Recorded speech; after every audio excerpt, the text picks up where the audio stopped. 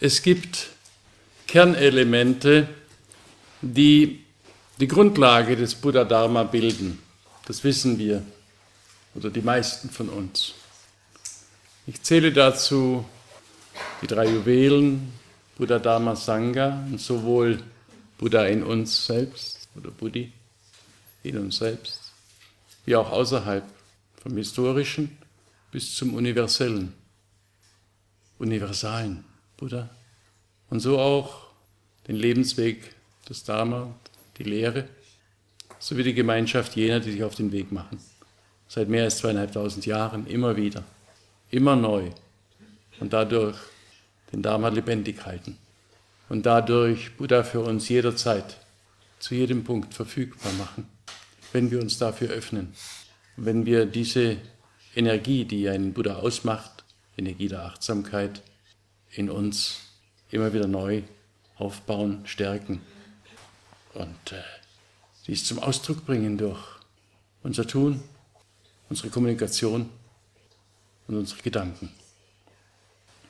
Weiterhin die vier edlen Wahrheiten und daraus die vierte edle Wahrheit, den achtfachen Pfad, der auf den Säulen der selbst aus eigener Überzeugung gewählten Ethik, auf Meditation und Weisheit, also tiefem Schauen, beruht.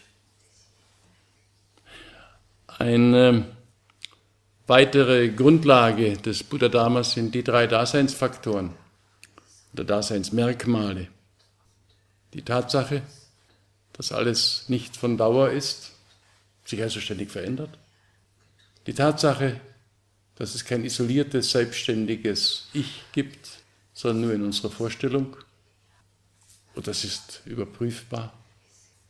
Und die Tatsache, dass es eine nirvanische Qualität gibt, eine zweite Dimension innerhalb unserer Wirklichkeit, die neben der relativen historischen Dimension eben auch gleichzeitig und miteinander verwoben die transzendente, die nirvanische Dimension des reinen Landes besitzt. Die gleiche Wirklichkeit und daher beides jederzeit verfügbar und das eine ohne das andere wäre nicht möglich. Und so ist auch das Rad des Lebens, das Lebensrad, unser Leben, eine Basis für den Buddha Dharma, sozusagen buddhistisches Urgestein, das in allen Traditionen Gültigkeit hat, nicht nur an dem Beispiel, an dem ich jetzt einiges exemplifizieren will heute, des Vajrayana oder der tibetischen Prägung, das hier stammt aus Bhutan, ursprünglich das Original, sondern auch in allen anderen Traditionen. Ich wollte deshalb mich berufen auf die Tatsache, dass Ayakema in der theravadischen Tradition, wie im Buch Morgenröte im Abendland, diese, diesen Weg, den weltlichen und wie sie es nannte, den überweltlichen Weg zur Freiheit, zur Befreiung hin und zugleich ganz tief verbunden mit unserem Alltag aufzeigt. Das Gleiche gilt natürlich noch in besonderer Weise für unsere Freunde aus der Vajrayana-Tradition. Dazu erwähne ich jetzt nur beispielhaft das Buch von Dalai Lama, die Lehre des Buddha vom abhängigen Entstehen, wo er sehr dezidiert einiges zu dem Thema ausführt, was äh, eben tibetisch geprägt, aber äh, nicht abweicht von anderen Traditionen. Im Grunde nur die Form der Darstellung und Annäherung ist ein wenig unterschiedlich. Und das Gleiche gilt auch für ein Buch, wie es beispielsweise von Chigyam Trungpa erschienen ist, das Spiel der Illusion, der Verwirrung und der Verblendung. Und auch das ist wieder eine sehr überzeugende Darstellung aus tibetischer Sicht eines großen Meisters, der zweifellos Shigam Trungpa war. Und bis hin zum Western Buddhist Order, also der etwas moderneren und westlichen Auffassung, die aber auch auf der Grundlage des, der buddhistischen Aussagen, der frühen buddhistischen Aussagen basiert, wo in seinem Wegweiser Buddhismus ein langes Kapitel, auch Sangharakshita also, der dem Paticca der Kette des bedingten Entstehens widmet. Ihr seht an diesen wenigen Beispielen, ich könnte dann noch Lama Anagarika Govinda und viele andere in dem Zusammenhang anführen, die uns das dargelegt und erläutert haben, dass es also traditionsübergreifend ist und dies nur als ein Beispiel dient, weil äh, dieses Lebensrad äh, durch seine Darstellungsform uns besonders anschaulich und einprägsam die wichtigen Elemente aufzeigt, um die es dabei geht und die wir anschauen sollten, wenn wir es immer in, in äh, Verbindung bringen zu unserem eigenen Leben und zu dem, ob wir das ebenso erfahren, ob das äh, für uns die gleiche Gültigkeit der Aussage hat wie für jene, die sich danach orientieren. Ich möchte eine historische Geschichte vorher noch erwähnen. Ich habe damals vor Jahren mal geschrieben, dass vor etwa zweieinhalbtausend Jahren sich Siddhartha Gautama im Wald nahe der nordindischen Kleinstadt Uruvela unter einem Ashata, wir nennen das heute Bodhibaum, niedergelassen hat. Er war fest entschlossen, diesen Ort erst zu verlassen, wenn es ihm gelungen war, sich aus dem leidvollen Kreislauf, aus dem Kreislauf von Leiden, Schmerzen und immer wieder eingegrenzten, schwierigen Situationen, aus diesem Kreislauf von Leben, Sterben und immer wieder werden zu befreien. Das war sein fester Entschluss und seine Beharrlichkeit, seine Konsequenz, Disziplin trug Früchte, weil in der Vollmondnacht des Monats Vesaka, als sein Geist aller Verunreinigungen, so heißt es in den Texten, ledig, sanft, gefügig, fest und ohne Wanken geworden war, richtete er, der 35-jährige Sohn eines Fürsten, des Rajas von Kapilatu, die Achtsamkeit auf seine früheren Existenzen, die in seinem Lebensstrom auftauchten, wobei dieses Seine in Anführungszeichen zu setzen ist, sondern es sind Erfahrungen in einem Geistesstrom, die eben sich da zusammenfanden und in der Manifestation des Buddha auftauchten. Es war in der ersten Nachtwache, also zwischen 9 Uhr am Abend und Mitternacht. Und in der ersten Stunden des neuen Tages während der mittleren Nachtwache erkannte Siddhartha dann das Naturgesetz von Ursache und Wirkung und auch der scheinbar unauflösliche Mechanismus, Automatismus, der die Wesen an den Kreislauf von immer wieder werden fesselt. Und das hat sich dem meditierenden Buddha gezeigt. Und dann habe ich ja gesagt, dass wir uns heute mehr dem klassischen Modell, nämlich diesen Kreislauf des Werdens und des Leidens zuwenden wollen, um dann morgen dazu überzugehen, die transformatorische Kraft, die uns durch die Praxis möglich ist, zu sehen, nachzuspüren und zu entdecken, wie dieser Kreislauf des Leidens, weitgehend zumindest, und flüchtiger Freuden und noch flüchtigerer Glücksempfindungen, die wir natürlich auch erleben dürfen, wie der sich verändern lässt. Verändern auf einen Weg zu mehr Freiheit, auf einen Weg zur Befreiung, zum Freisetzen dessen, was in uns unzerstörbar als Potenzial der Erleuchtung schon vorhanden ist, dem Bodhicitta, so nennen wir es. Wenn wir also bei der klassischen Darstellung bleiben, sehen wir hier Yama oder Yamantaka in einer nicht gerade sehr freundlichen Darstellung und mit äh, Krallen als Herr des Lebens, dieses Rad des Lebens haltend, klammernd. Er ist nicht nur eine furchterregende Gestalt, er hat das Auge der Weisheit, er weiß um die Leerheit der fünf Skandas, der Elemente, das ist die Krone, aus denen wir uns zusammensetzen, also Körperlichkeit, Bewusstseins, Willenstendenzen, äh, Empfindungen und Bewusstsein. Und äh, ist insofern ein Buddha, der diese Form annimmt, um hier zu demonstrieren, dass dieses Rad des Werdens sehr viel Gifte und sehr viel Leid enthält. Im Wissen darum, mit der Weisheit ausgestattet, dass es jeder von uns verändern kann und transformieren kann. Jene Elemente, die in diesem Rad enthalten sind. Und was treibt dieses Rad ständig an, unaufhaltsam seit es sicher den Homo sapiens, vielleicht schon den Homo erectus gibt? Was treibt es an?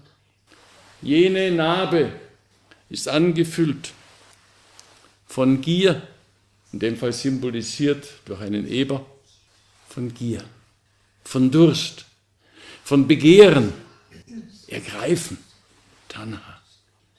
Und ist äh, erfüllt mit Kleshas, wir nennen das Befleckungen, von Wahn, Klammer falsche Vorstellungen, falsche Ansichten, von Stolz und Zweifel, Selbstzweifel. Zugleich aber auch Stolz und Arroganz oft. Und wie es in den Texten heißt, auch von Schamlosigkeit und Gewissenlosigkeit. Die zusammen mit diesem Begehren und Greifen jene, jenes Festhalten und jene Giersituation erzeugen und somit ein starker Impuls für das Drehen des Rades sind, wie auch hier durch die Schlange symbolisiert daneben der Zorn, der Ärger, unsere Wut bis hin zu unserem Hass. Dosha.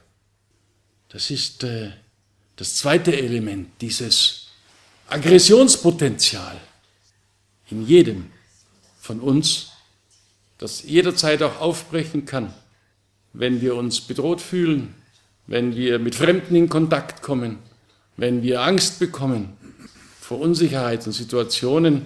Und wer Angst hat, schlägt um sich. Und dieser Zorn, der Ärger, der Hass, ist das zweite Element, das das Rad antreibt. Und ebenso, in dem Fall durch den Hahn dargestellt, das sieht aber mehr aus wie ein V, ich kann da keinen Hahn erkennen, aber es soll ein Hahn sein, ist das dritte Element, nämlich die Unwissenheit, oft auch mit Neid definiert. Diese Unwissenheit sieht nicht die Chance zur Befreiung. Sie ist in der totalen Täuschung über die Wirklichkeit. Sie hat keine Ahnung vom Gesetz des Karma, keine Ahnung von den vier edlen Wahrheiten, keine Ahnung von den zwei Ebenen der Wirklichkeit. All das ist nicht bekannt, sondern da bin ich und dort ist der Rest der Welt und ich muss schauen, wie ich durchkomme. Ist ein tragendes Merkmal von Unwissenheit und auch der Neidsituation, die man so leicht in dieser heutigen Gesellschaft insbesondere auch wecken kann. Und da gibt es sehr subtile, aber auch sehr massive Tricks, das zu erreichen. Insofern sind dieses haben müssen und festhalten, das Ablehnen und die damit verbundene Aggression und der Hass und das Nichtwissen über das, wie diese Welt beschaffen ist, was in uns allen existiert, wie sehr wir miteinander verbunden sind. Das Nichtwissen von dem Intersein. Drei immens starke Kräfte, Energien, die diese Narbe antreiben und dieses Rad der leidvollen Situation am Rollen lassen. Immer wieder, immer neu. Für jeden von uns. Im Leben feststellbar, wenn wir das überprüfen. Der Ring, der sich um diese Narbe schließt, ist eine Spezialität unserer tibetischen Freunde, die sonst in den anderen Traditionen weniger vorkommt. Das ist hier nur gezeigt, wie es einen Weg daraus geben kann, zu heilsamen Tun hin zu einer Befreiungssituation. Das ist also diese weiße Seite mit lauter so heiligen Monastics drauf, Mönchen und Nonnen. Und auf der anderen Seite diese schwarze Seite, wie negatives Denken, unheilsames Tun. Ständig in diesem Kreislauf drin zu bleiben, eben zu einer immer schwierigeren Daseins-Seinssituation führt. Äh, das äh, ist eine Möglichkeit, daran nochmal zu erinnern. Aber wie gesagt, es ist nicht in allen Traditionen in der Form bildhaft dargestellt. Naja, und dann kommt das Rad selber mit seinen Speichen und in den Segmenten dieser Speichen eben jene sechs Lebensbereiche, die da aufgezeigt werden. Ähm, es gibt äh, bei einfachen Menschen die Vorstellung, dass es wirklich Lebensbereiche sind, in denen man geboren werden kann, jeder von uns, und sich dann eben während seines, seiner Manifestation seines Lebens da oder dort aufhält.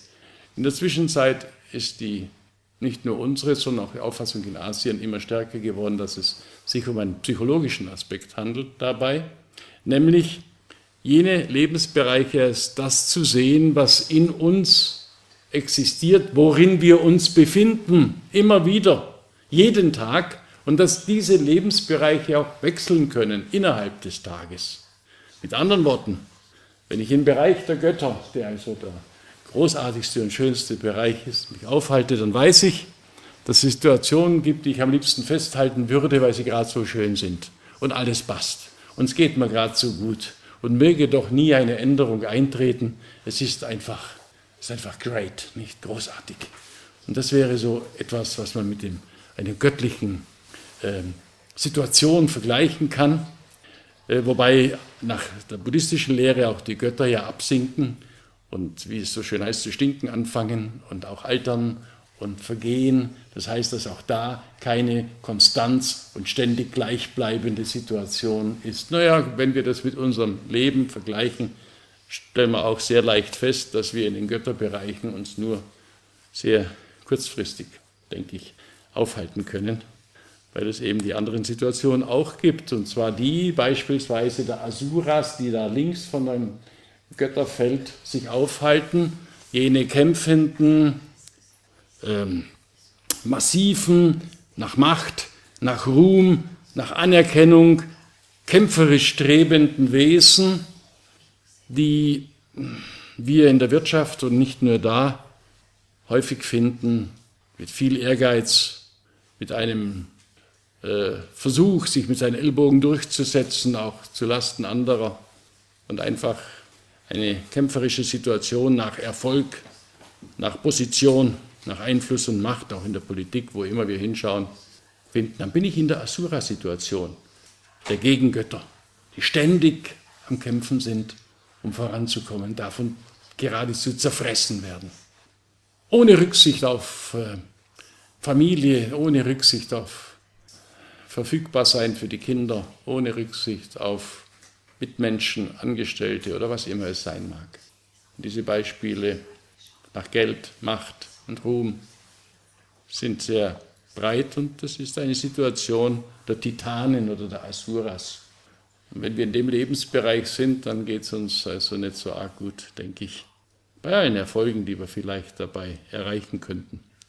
Erfolge in Anführungszeichen. Der dritte Lebensbereich ist dies der Menschen. Der Menschen, die ständig erfüllt sind mit Ängsten, mit Sorgen, mit äh, der Vorstellung, äh, dass ein Tod kommt, der äh, in ein schwarzes Loch führt und wo es dann zu Ende ist, die also nach linearen Konzepten den, den Anfang und das Ende eines Lebens betrachten, die vom Egoismus, von dem Ich da und dort die, der Rest der Welt besetzt sind, ständig schützen wollen, nach Sicherheit bedacht sind und die einer mühenvollen, oft sehr arbeitsamen und äh, belastenden Leben verlernt haben zu sein, sondern nur noch gewohnt sind, mit Gewohnheitsenergien und Verhaltensmustern zu machen und zu tun. Welt der Menschen. Dann gibt es die drei Bereiche, die äh, große Schwierigkeiten haben, aber auch das erleben wir manchmal öfter am Tag, dass wir uns im Tierbereich aufhalten Bereich der Tiere, das ist da links in der Landschaft, halb links unten. Ja. Ängste, Dumpfheit, nicht mehr klar sehen können, einfach ständig nur noch davonlaufen oder angreifen, um Stresssituationen, die uns entstehen, auf die Weise loszuwerden.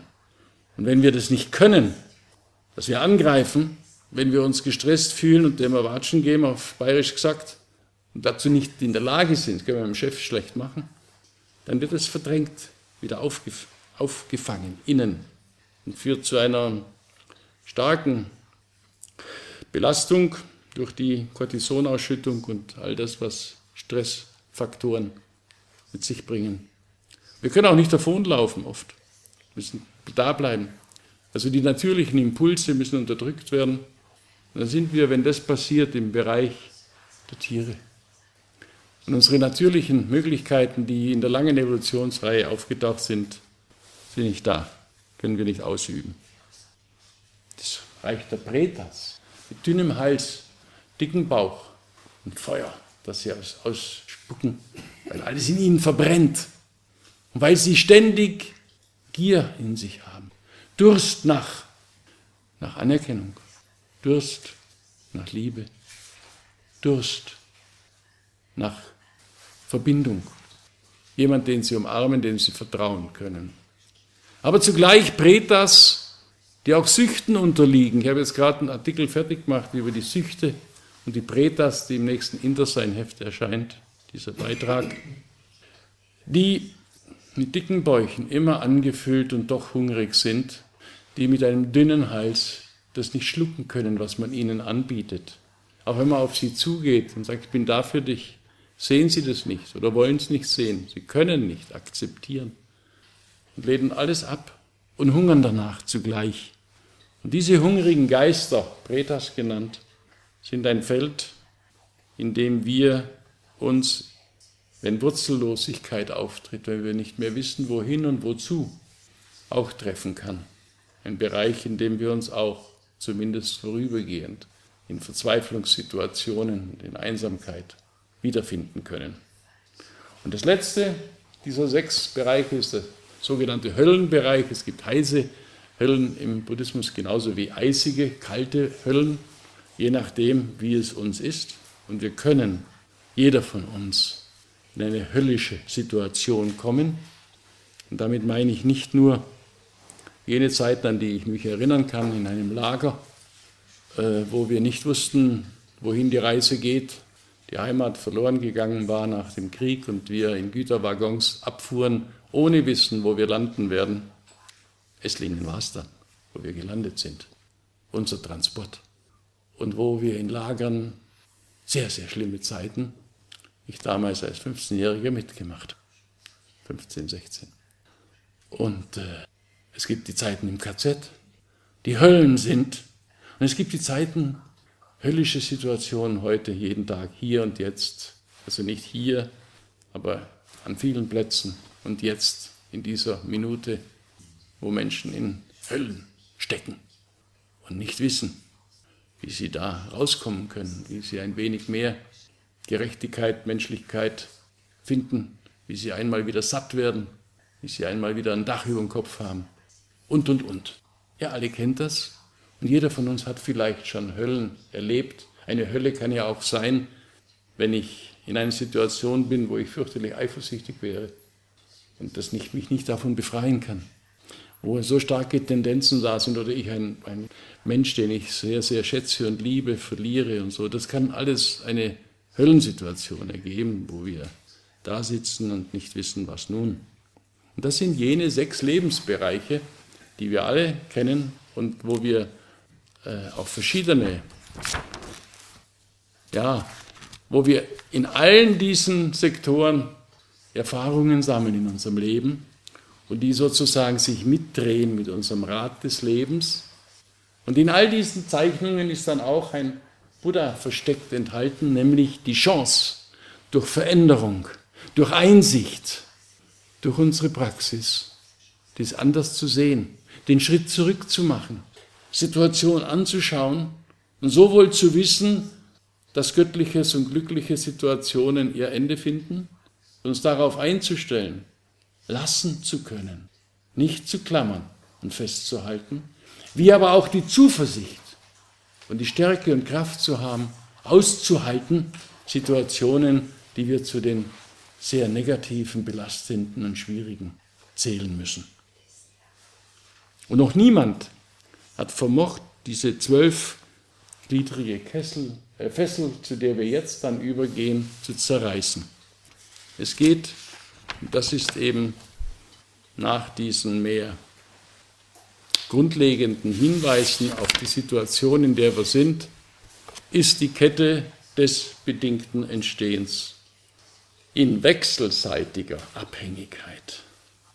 Es ist dieses Paticca Samutpada, wie es im Sanskrit heißt, ist die Begründung seit Beginn der Lehre des Dharma, die Begründung für Intersein. Wie alles in wechselseitiger Abhängigkeit, nicht als Absolutum, nicht für sich allein entsteht, sondern immer nur, das nur in Anführungszeichen, in Abhängigkeit von allem anderen. Und dass alles andere nur existiert, weil auch ich und mein Teil in diesem Kosmos entstanden ist, wiederum Abhängigkeit aus Nicht-Ich-Elementen, die heute meine Manifestation möglich machen. Man nennt diese, diese Gliederkette, die sozusagen den äußeren Rand des Rades es umschließt, auch die Kette des gegenseitigen Durchdrungenseins und der Verwobenheit. Gegenseitiges Durchdrungensein, in jedem Glied sind alle anderen enthalten und miteinander verwoben, untrennbar. Ein Glied für sich allein kann nicht existieren, alle bilden ein Ganzes, durchdringen sich gegenseitig und sind miteinander verwoben. Es ist eine Aufforderung zu erkennen, jeder von uns zu erkennen, in welchem Kreislauf, in welchem Rad eingebunden sich das eine aus dem anderen zunächst mal folgernd in uns abspielt, wie Wiederwerden entsteht in uns und auf der anderen Seite zu erkennen, wie durch eine Transformation, eine Veränderung diese Qualität eine ganz andere werden kann. Etwas, das wir ab morgen und vor allem auch übermorgen miteinander anschauen wollen.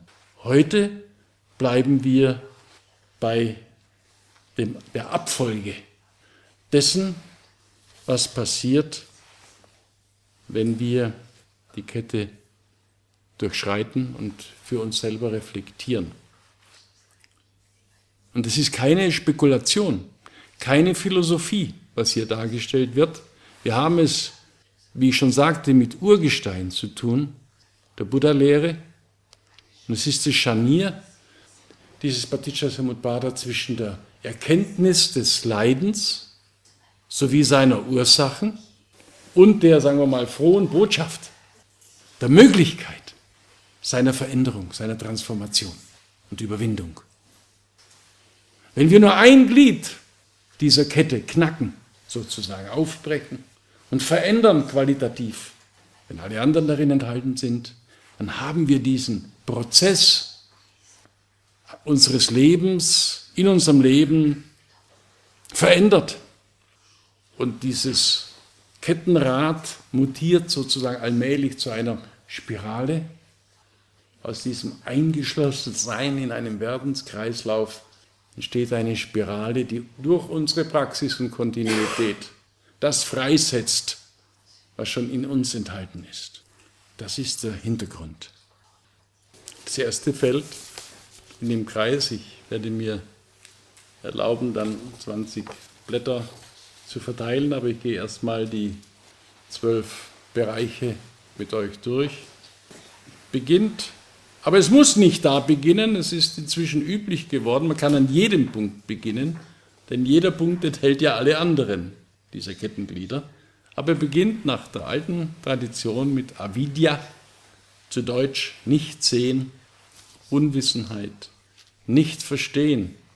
Das wird dargestellt durch einen blinden Mann oder eine blinden Frau, die mit ihrem Stock sich durchtastet. Das ist äh, das erste Bild da oben. Jetzt ist ein Mann, der also dann mühsam dahin geht, blind ist mit seinem Stock und eigentlich keine Perspektive hat, wie er klar sehen kann.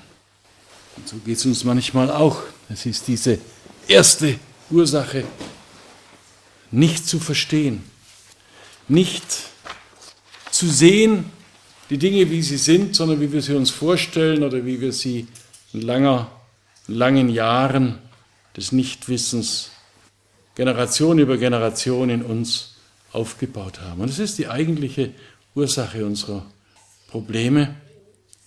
Denn Unwissenheit gleicht eben der Unfähigkeit zu sehen oder zu verstehen. Ist nichts da. Ich habe keine Antworten, bis auf bestimmte Glaubenssätze oder ähnliches, aber das genügt mir meistens dann nicht mehr. Das ganze Elend beginnt ja damit, dass wir nicht in der Lage sind, die Strukturen zu erkennen, die unsere Situation ausmachen. Wir sehen nicht klar genug. Und wir haben so viele Übertünchungsmöglichkeiten und verfallen in blindes Handeln, emotionales Handeln, kein Schritt zurück, nicht zum Atem gehen, nicht im Hier und Jetzt sein, sondern irgendwo landen, im vergangenen, zukünftigen, mit Schuldgefühlen, mit Reuegefühlen, mit Aggression und festhalten wollen. Und das ist Unwissenheit. Wenn er keine andere Möglichkeit sieht, ein Mensch als jeden Abend vor dem Fernseher oder vor Computer zu sitzen, sich dazu vielleicht äh, noch Alkohol zuführt, macht er die leidvolle Situation in der Regel nur schlimmer, weil seine negativen Impulse noch mehr verstärkt werden, noch, noch deutlicher werden. Und unser Geist und unser Körper, die beide zusammenspielen, zusammengehören, unsere Energie wird vergiftet. Körper und Geist. Oder lass uns das noch anders sagen. Weil wir nicht klar sehen können, sehr oft, entstehen natürlich bestimmte Tatabsichten und Impulse, die auch nicht von Klarheit, von guten Energien, von Klarblick erfüllt sind.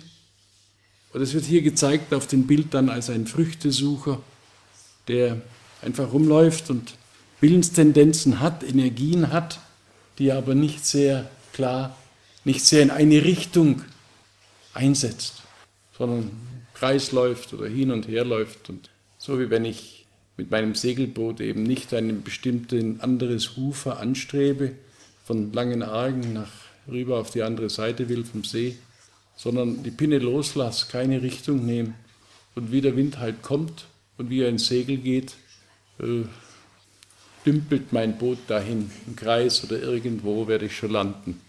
Und ähnliches passiert eben, wenn unsere Samskaras, unsere Willenstendenzen, keine Ausrichtung bekommen. Früchtesucher. Und aus diesen Willensenergien entsteht auch Bewusstsein. Das individuelle und zugleich das kollektive Bewusstsein, das hier gezeigt wird wie ein Affe, der sich von Ast zu Ast schwingt in der Darstellung und das einmal dahin springt und einmal dorthin springt wie wir gerade manipulierbar und beeinflussbar wären.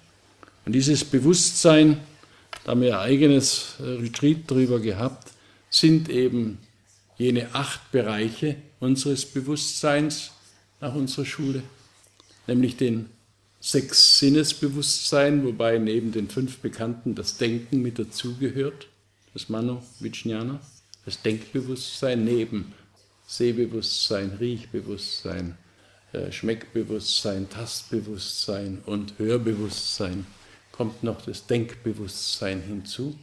Und Bewusstsein, wie ihr wisst, ist notwendig, damit ein Auge, das Sinnesobjekt, äh, Sinnesorgan, das Sinnesobjekt, nämlich da draußen den Bambus, zu erkennen vermag und zugleich ein Bewusstsein da ist, das mir ermöglicht zu erkennen, was das überhaupt ist. Sonst würde das Auge eine bestimmte grüne Form sehen hier überhaupt nicht, überhaupt nicht einordnen, einzuordnen wäre. Also ich brauche immer Bewusstsein zu dem Sinnesorgan und zu dem Sinnesobjekt. Und das sind diese fünf Bewusstseinsarten, mit denen wir die Welt wahrnehmen, aber eben zugleich auch unser Gärtner, wie wir oft gesagt haben, das Manowitschnianer, das Geistbewusstsein, das unsere Denkfähigkeit beinhaltet und möglich macht und ausdrückt. Und daneben dann das Manas, Bewusstsein, in dem sich unser Ich angesiedelt hat, dass er im ständigen Kontakt zwischen dem Geistbewusstsein und dem Speicherbewusstsein steht. Speicherbewusstsein aller Vijnana, in dem alle Samen seit anfanglosen Zeiten gesammelt sind, die je nach Situation Und je nach den Impulsen, die ausgedrückt werden, wie ein Schauspieler auf Stichwort in unser Tagesbewusstsein tritt und sich da äußert. Ich möchte keinen längeren Ausflug zur Bewusstseinslehre machen, weil das ein sehr umfassendes, umfassender Bereich ist. Ich will nur so viel sagen, dass wir, wenn Bewusstsein nicht klar wird, wir nicht sein Zusammenspiel erkennen, wenn wir nicht genau hinschauen, was in uns passiert, was mit uns los ist. Das ist dann, wie hier auf dem Bild, wie ein Affe hin und her springt und uns eigentlich sehr viel äh, Unklares, Undeutliches vermittelt und wie ein Spielball von dem, was gerade auftaucht, von dem, was wir uns gerade vorstellen, von dem, wie wir etwas bewerten, beurteilen. Ein Spielball dieser, dieses leidvollen, oft leidvollen und nicht sehr ausgerichteten Bewusstseins werden. Das ist der Grund, warum uns Meditation eine so große Chance bietet. Durch Innehalten, durch Stoppen, Klarblick und Einsicht zu erreichen. Unsere Verbindung herzustellen, zu sehen, was passiert in unserem Bewusstsein, was passiert in unserem Geist und das zu erkennen. Aber zunächst mal wird hier in dem Rat gezeigt, das geht alles durcheinander und wird nicht geklärt und zeigt uns kein deutliches Bild. Und aus diesem Bewusstsein entsteht dann die Geistkörperlichkeit, Namarupa, wie wir sagen, nämlich geistige, psychische und physische Elemente, aus denen wir uns, aus denen wir uns zusammensetzen, unsere Existenz. Wir sitzen in einem Boot in dem Bild, wo wir rudern. Und ich habe hier auch ein Bild, das ihr nachher bekommt, wo zwei drin sitzen, die, der eine rudert nach vorne, der andere rudert in die andere Seite. Das ist, wenn Geist und Körper getrennt sind, wenn im gleichen Ruderboot zwei Gegenkräfte arbeiten und wir somit auf der Stelle verbleiben. Oft, oft. Und diese Geistkörperlichkeit wiederum erzeugt nach der Darstellung diese sechs Sinnesorgane, die sechs Sinnesobjekte, es ist dann gezeigt wie ein Haus mit fünf oder sechs Fenstern, Türen. Und diese Sinnesorgane entstehen natürlich nur, wenn Geist-Körperlichkeit da ist. Wäre das nicht da, könnten ja die sechs Sinnesorgane überhaupt nicht existieren. Und hätten wir die nicht, würden wir die Welt nicht wahrnehmen können. Und da wäre weder ein Weg zur Befreiung und zur Einsicht möglich, ohne Weltwahrnehmung, ohne die Transformationsmöglichkeit, die wir durch unseren Körper und unseren Geist haben, sondern es wäre halt gar nichts. Würde nichts passieren. Nur ist es so, dass wenn wir über Körper und Geist diese sechs Sinnesorgane haben und auch einsetzen, dass dann Kontakt entsteht. Denn mit der Weltwahrnehmung entsteht auch Kontakt das wird hier gezeigt mit einem Paar, das sich umarmt, zwei Menschen, die sich umarmen, Kontakt entsteht durch das Sinne, die Sinnesbewusstseine. Ja, und wenn Kontakt da ist, ist auch das nächste Glied damit verzahnt, nämlich die Berührung.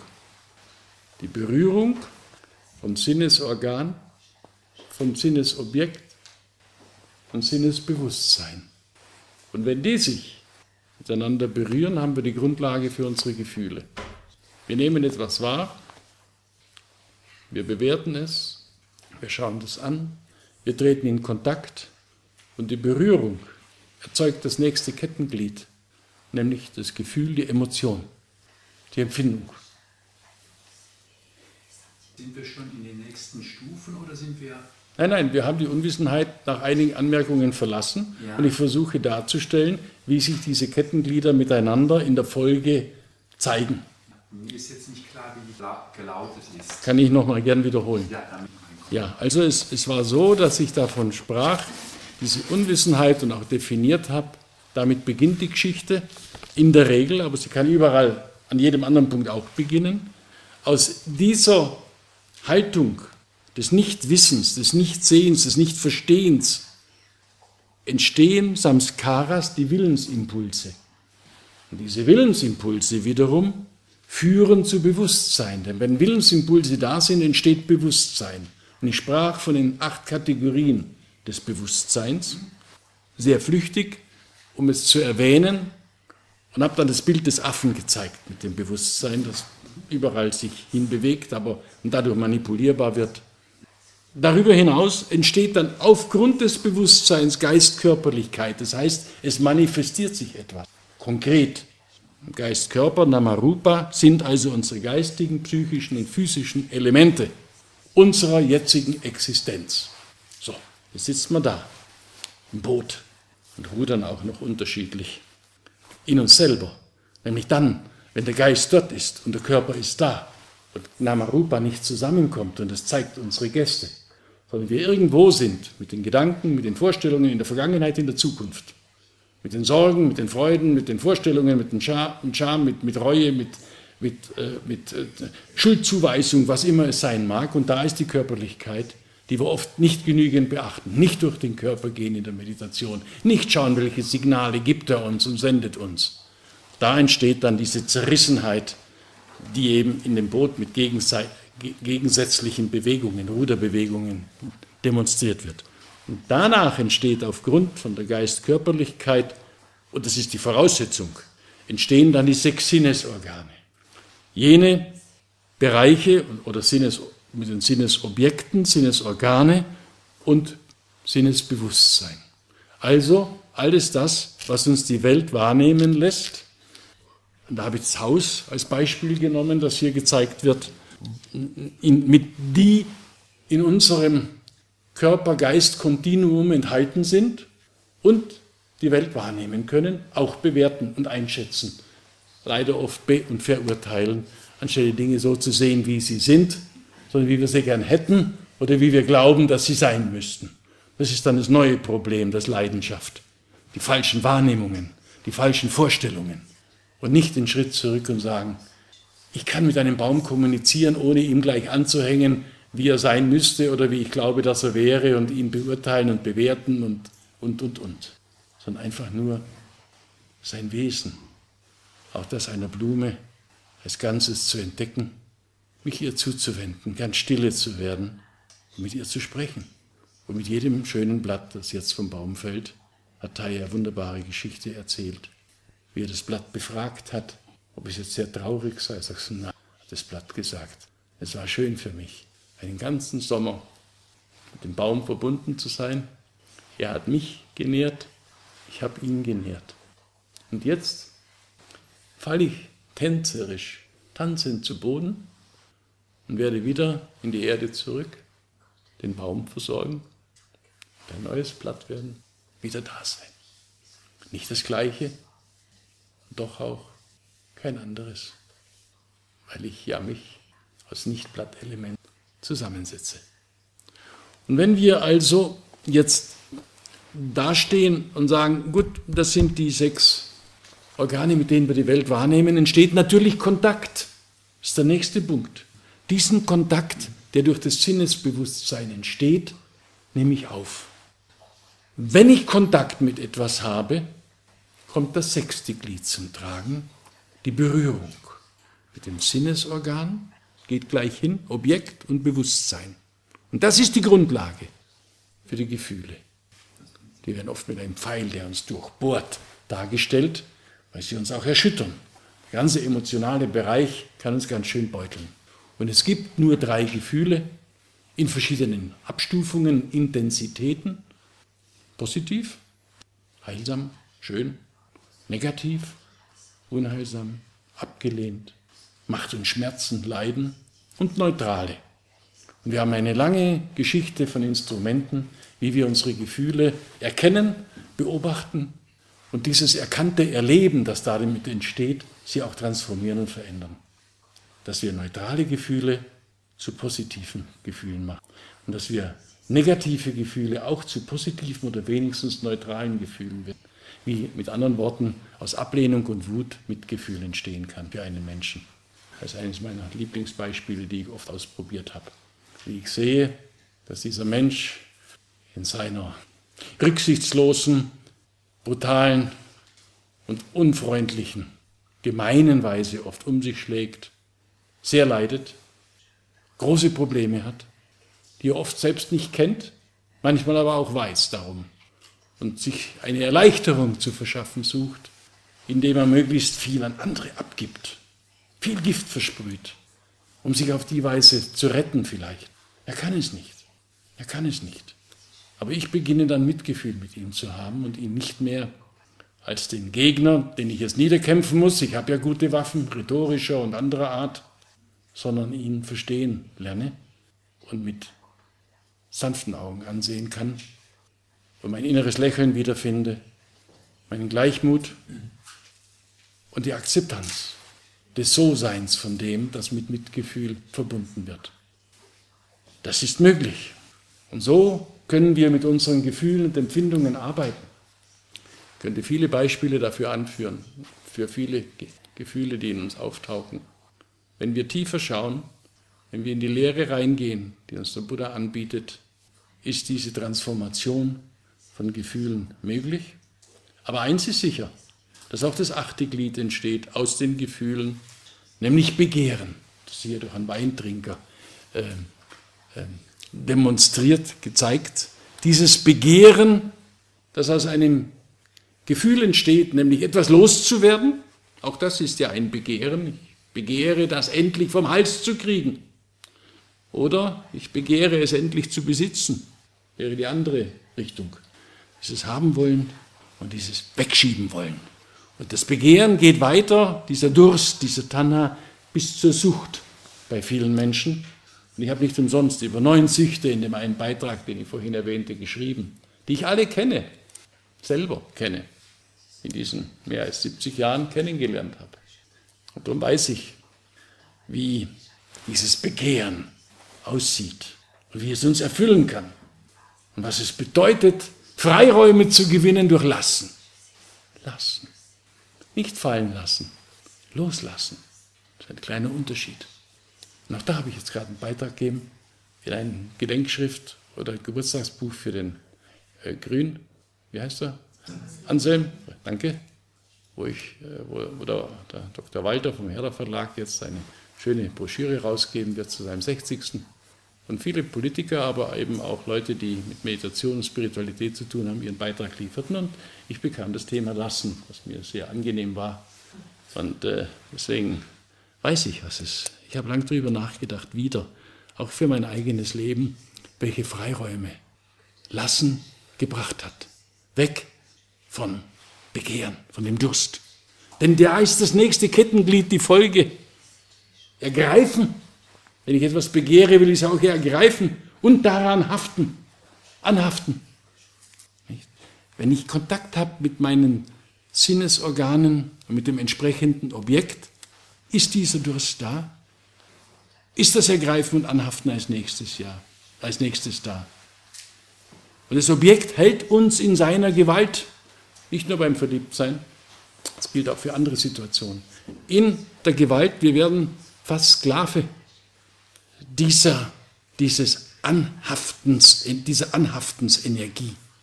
Und ihr wisst alle, ein spiritueller Weg ist ein Weg des Lassens, des Loslassens, um damit neue Freiräume zu bekommen. Ich kann nicht frei werden, solange ich versklavt bin. In meinen eigenen Wünschen und Vorstellungen und in meiner Gier und in meinem Anhaften. Und wir müssen das früh trainieren und lernen. Loslassen von Kindern, die ihr eigenes Leben leben, ob es uns gefällt oder nicht, das Leben. Nicht mehr anhaften. Wir können nicht für sie leben. Wir können sie nur begleiten.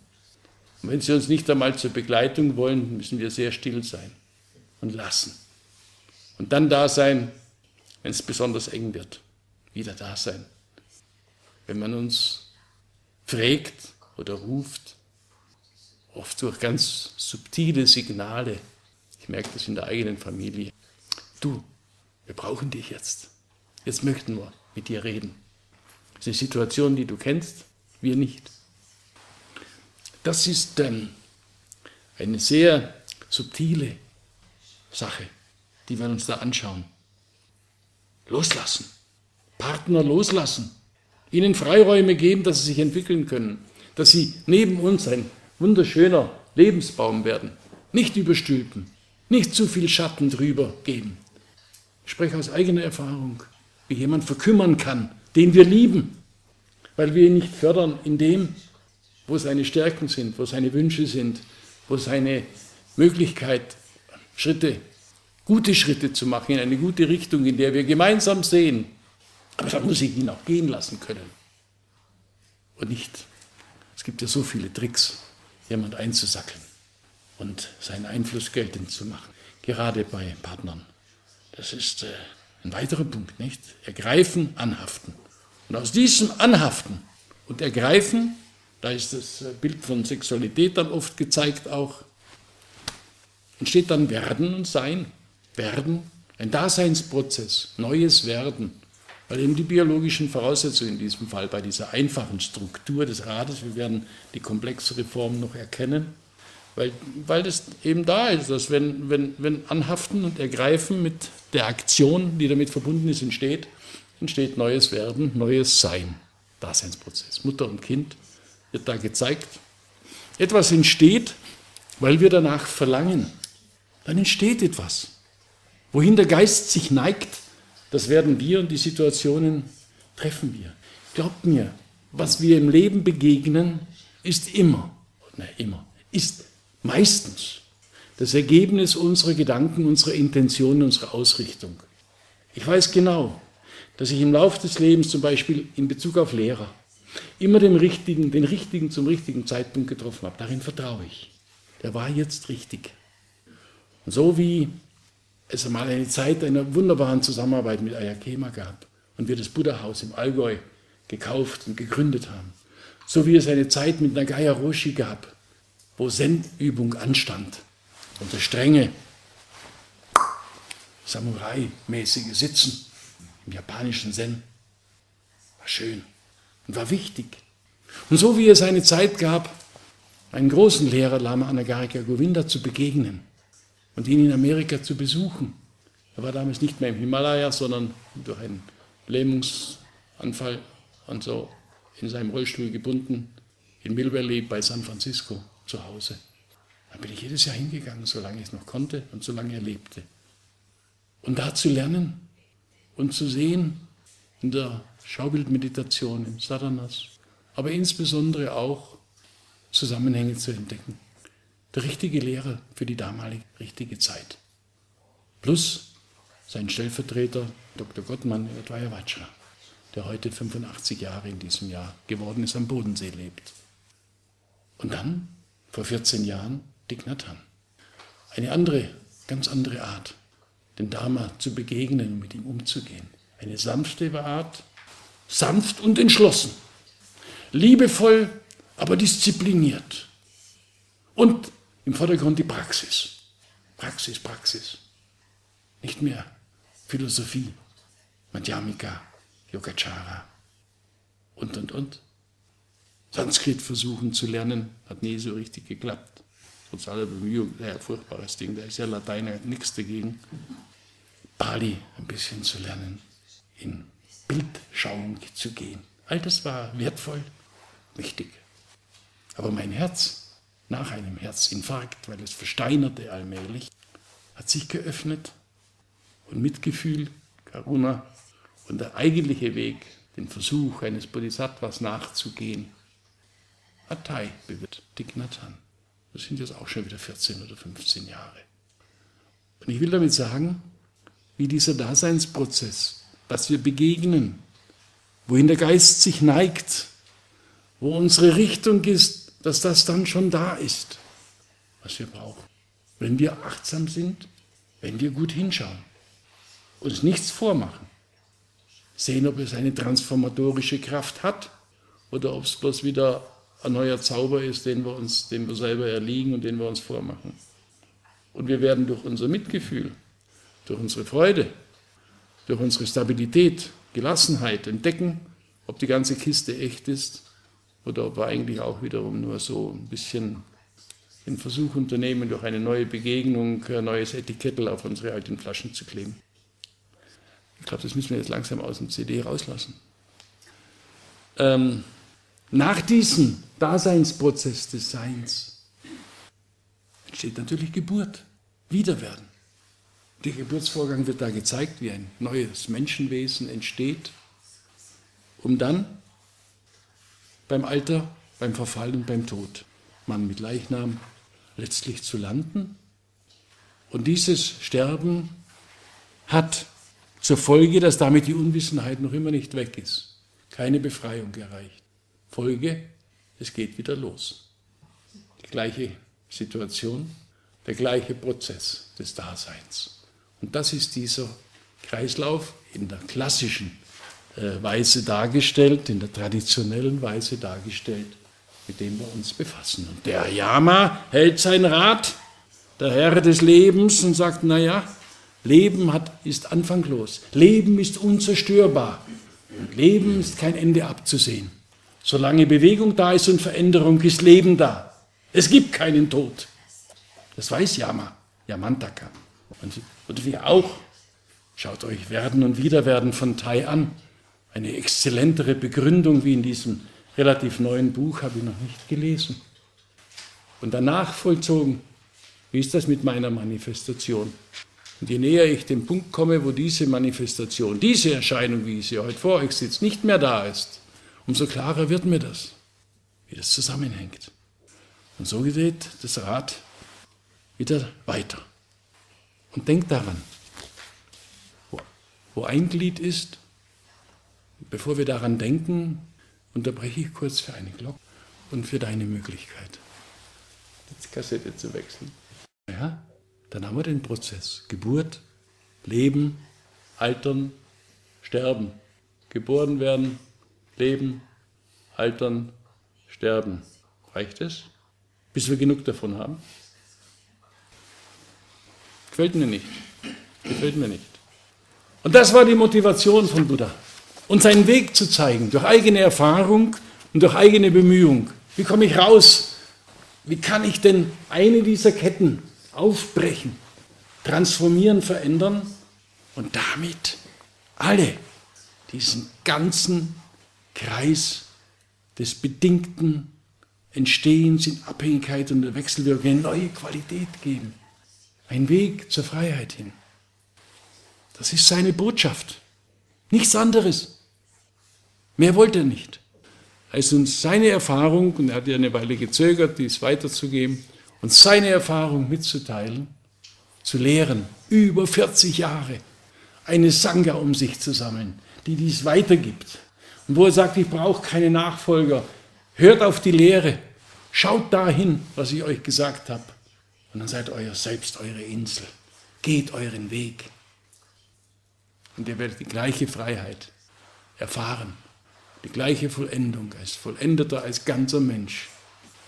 Äh, dies erreichen, wenn ihr meine Empfehlungen aufnehmt, sie umsetzt selbst, ausprobiert, zu Deutsch der Praxis nachgeht. Und denkt dran, wo ein Glied ist von der Kette, sind auch alle anderen vorhanden. Und jedes Glied, ganz gleich, was sie nehmen, Gefühl, Empfindung, Kontakt, Begehren, Ergreifen, enthält auch die anderen mit. Es ist also keine sozusagen Automatik, die genau diesen Ablauf hat, sondern jedes ist mit jedem verbunden, es ist ein richtiges Netzwerk. Ein Netzwerk, das habe ich irgendwo aufgezeichnet, alles habe ich jetzt oben, das zeige ich euch morgen, wo ihr seht, wie diese Verwobenheit aussieht, wenn ich jedes dieser zwölf Glieder mit jedem der anderen elf verbinde.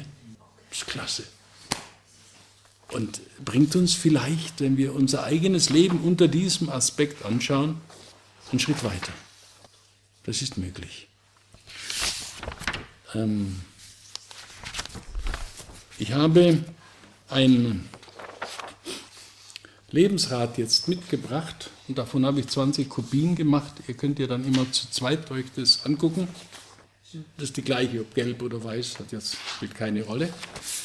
Das auch aus dem tibetischen Stand, aber von einem unserer Sangha-Freunde sozusagen in die heutige Zeit, äh, weg von der tibetischen klassischen Darstellung, neu gezeichnet worden ist. Äh, wir haben das auch vor, vor einigen Jahren, ich glaube im Jahr 2000, im Intersein mal veröffentlicht, als wir dieses Thema äh, zum Anlass nahmen, darüber ein Heft rauszubringen.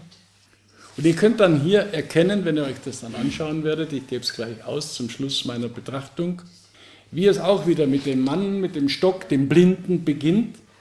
Und dann der nächste Step, und dann könnt ihr euch die Notizen, falls ihr welche gemacht habt, wenn nicht, dann müsst ihr es euch wieder neu ausdenken, sehen, wie der da vor dem Computer sitzt und wie der Affe in den Bäumen hängt.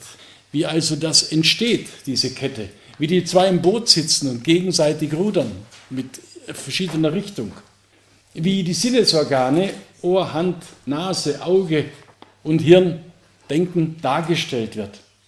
Wie der Tango-Tanz für äh, sehr schön zwei Tango-Tänzer drauf äh, hier äh, bestimmte Empfindungen erzeugt werden und wie ein Verliebter dann happy dasteht und einfach nur noch strahlt und äh, bemerkt und zwei, die den Apfel der Erkenntnis sozusagen dann runterholen und die schwangere Frau und die Geburt im Kreissaal und das Werden und Vergehen, das Altern vom Bub über den Erwachsenen zum alten Menschen. Wie also das sozusagen in unserer Sprache und unserer Modernität gezeigt wird.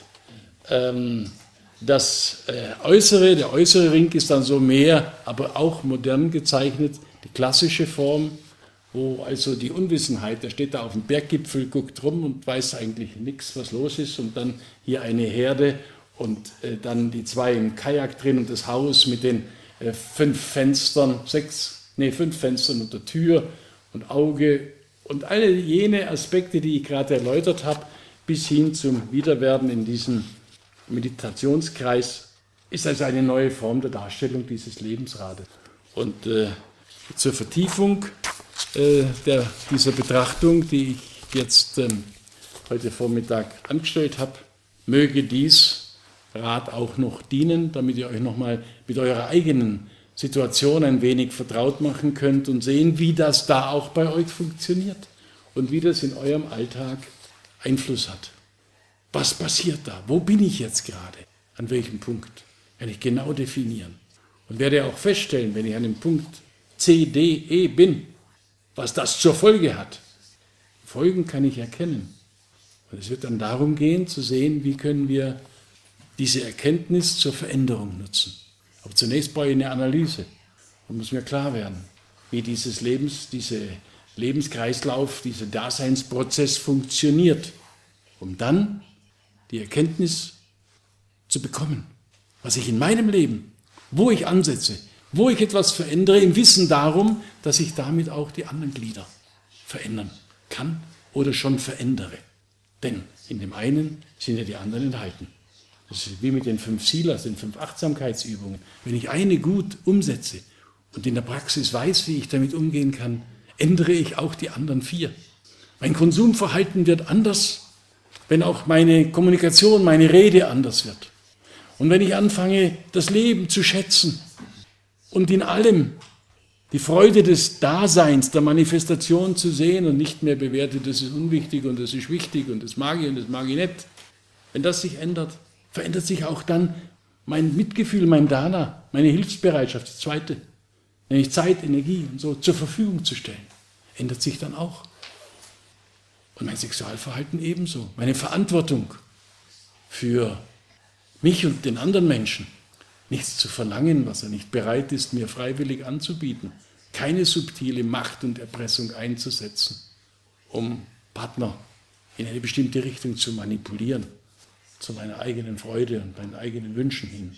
Oder gar sehr zerstörerisch aufzutreten, in dritte und vierte in Mitleidenschaft gezogen werden durch mein etwas unverantwortliches Verhalten. Das sind alles Dinge, die dann auftauchen und wo ein Punkt alle anderen auch verändern. Und das ist das Schöne. Darum sollten wir immer, egal ob beim Lebensprozess hier oder bei den fünf Übungen der Achtsamkeit, die ja oben auch aufliegen, wer sie noch nicht kennt, in, hinter der Eingangstür da, auch die 14 unseres Ordens, die eine ganze programmatische Aussage haben, das zu prüfen. Wo stehe ich und wo kann ich bei mir jetzt gerade anpacken? Was ist bei, steht bei mir an? Und das erkennen und dann eines dieser zwölf Glieder anpacken. Oder, was ja Folgen hat, sehr heilsame Folgen, oder eines der fünf Übungen mal zentral in meine Praxis zu stellen, im Alltag und sehen, wie geht es mir damit? Wie kann ich das? Ich will es ja. Das ist die Voraussetzung. mich freiwillig bereit erklären, ja, das ist meine Richtung und dann was daran zu tun. Es gibt ja eine buddhistische Genesis und das sei der Abschluss meiner heutigen Betrachtung. Eine Genesis, eine Schöpfungsgeschichte. Die haben wir heute früh schon mal kurz gehört im mittleren Weg. Das eine enthält alles. Das ist eine immense Aussage. Das eine enthält immer alles wie da auch. Und alles enthält das eine. Alles ist in uns und wir sind überall. Und das ist Tiefenökologie. Und das müssen wir uns tief einprägen und, und sehen, stimmt das auch? Und das können wir in Erfahrung bringen. Dies ist, nächster Satz, weil jenes ist. Und dies ist nicht, weil jenes nicht ist. Das sind die Abhängigkeiten die Bedingungen, die ständig da sein müssen, dass etwas ist oder nicht ist.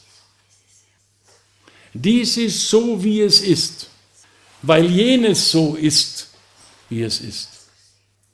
Mein berühmtes Eiwei. Es ist, wie es ist. Und ich kann mich verändern. Dann wird es anders.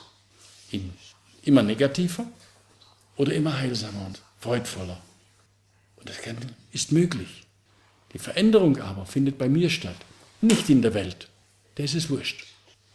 Bei mir findet Veränderung und damit neue Weltsicht statt. Nur da. Und ich kann auch keinen anderen verändern. Ich kann ihn annehmen, so wie er ist, und ich kann ein bisschen was vorleben, wenn ich mag. Ob er das überhaupt sieht, lassen wir mal dahingestellt. Ich kann ihm ein Geschenk machen, meiner Freude, meiner, meines Mitgefühls, meiner Zuneigung, meiner Liebe. Aber vielleicht sieht er das Geschenk gar nicht. Dann habe ich es getan. Es war meine Aktion und ich habe die Hand ausgestreckt. Und wenn er sie nicht nimmt, auch recht. Nicht dann traurig sein, nicht dann beleidigt sein, nicht sagen, du hast ja gar keinen Wert, ich mache keine Bemühung mehr. Nein, weitergehen, weitermachen. Und durch unser Leben, wie wir es einem anderen zeigen und wie wir uns durch Praxis verändern, klarer sehen lernen, mitfühlender, tiefer, verändern wir uns, nicht den anderen den können wir nur akzeptieren lernen, so wie er ist. Im Wissen darum, dass er sich auch verändert, entweder bewusst durch Bemühen oder weil sowieso Veränderung ständig stattfindet. Aber wenn er nichts dran tut, nur dann unkontrolliert, ohne Richtung, dann paddelt er halt im Kreis. Ja, und Yama dreht. Das ist auch möglich. Dies ist nicht, weil jenes nicht ist. Dies ist, weil jenes ist. Das gleiche gilt für Entstehen. Dies entsteht, weil jenes entsteht, sonst ist es nicht möglich. Und dies vergeht, weil jenes vergeht. Wunderschönes Beispiel von Tai mit der Flamme.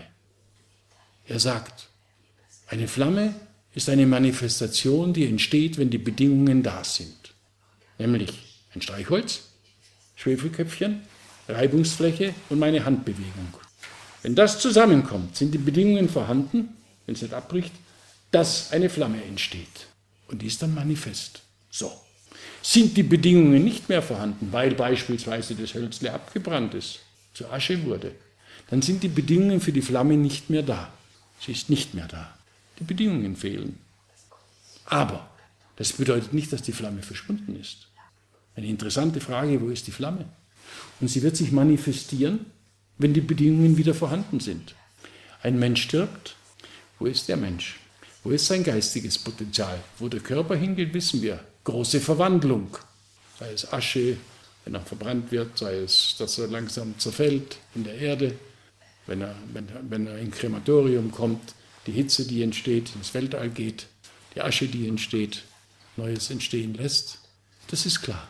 Sein geistiges Potenzial, nämlich die Taten, das vergeht nicht. Es ist nicht zerstörbar, sondern es muss sich aus, ausarbeiten sozusagen.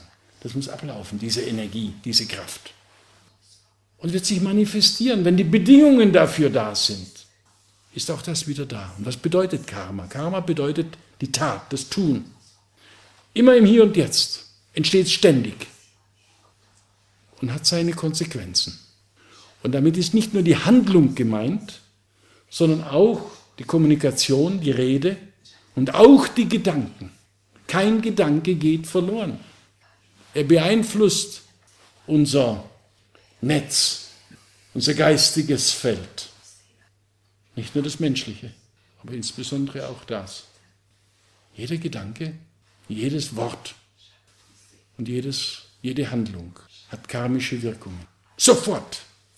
Ob die Auswirkung, wir werden morgen über Ursache und Wirkung nochmal genauer hinschauen und sehen, wie eine Ursache sich ja immer, immer auch die Wirkung von etwas anderem in sich trägt. Und jede Wirkung ist die Ursache für was anderes. Schon drin enthalten. Ursache und Wirkung sind intra, sind miteinander verbunden. Beides geschieht gleichzeitig. Und keiner soll glauben, dass er Ursachen setzen kann, wo dann die Wirkung nicht entsteht. Keiner soll glauben, dass mit der Ursache nicht zugleich auch Wirkung da ist. Und jede Wirkung, die wir erleben, setzt neue Ursachen, nämlich mit der Frage, wie gehe ich damit um. Wenn ich etwas Schweres erlebe, frage ich mich nicht mehr, sei es eine schwere Krankheit, die ich kenne, sei es eine, ein Verlust eines Menschen, den ich kenne und liebe, egal was es ist, frage ich heute nicht mehr, ja warum mir? Und warum das? Und warum so viel Elend? Und warum so viel Druck und Leid, sondern ich frage mich ständig, was mache ich jetzt damit? Wie gehe ich damit um? Hier erlebe ich Wirkungen, deren Ursachen ich oft nicht, meistens nicht feststellen kann. Manchmal ja, da sehe ich genau, warum mir dies oder jenes widerfährt. Ich erkenne das. Aber das sage ich nur ganz still zu mir selber. Das brauche ich nicht äh, im Beichtstuhl sagen. Nicht mehr, wie früher mal. Guter Katholik.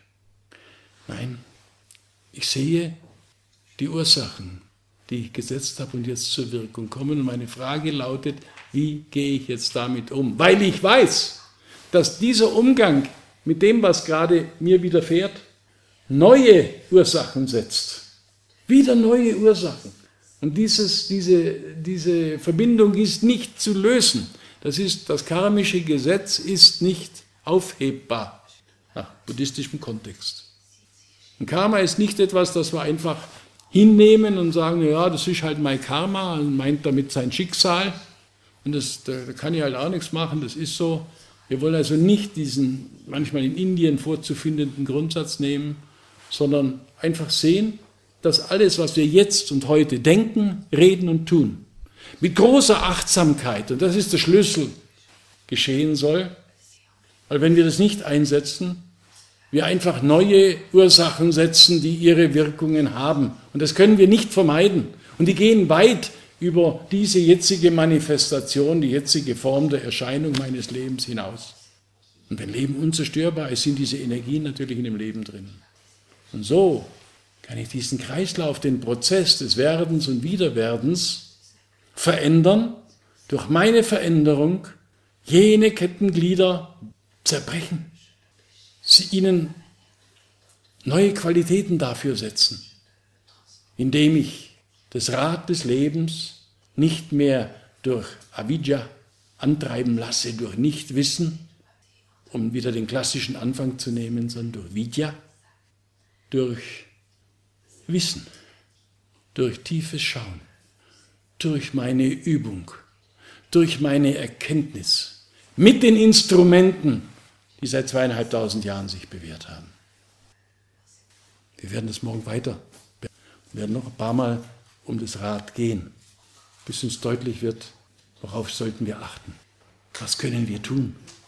Und ich hoffe, dass wenn wir morgen Nachmittag unseren Gesprächskreis zusammen haben, ihr so viel Stoff von heute und morgen eingesammelt habt, zunächst, den es zu überdenken gilt, damit wir darin, damit in ein Gespräch gehen können um das eine oder andere zu deut deutlicher zu machen, vielleicht klarer zu machen, was ich äh, in meiner unvollkommenen Rede heute ausgedrückt habe.